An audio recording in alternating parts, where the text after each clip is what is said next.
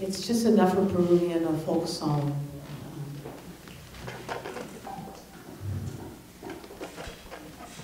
And thank you for coming, and I'm gonna announce the musicians after Lynn, and to go upstairs and drink a couple of drinks. or whatever. You know, we're gonna announce Huh? the, the winners of the lottery.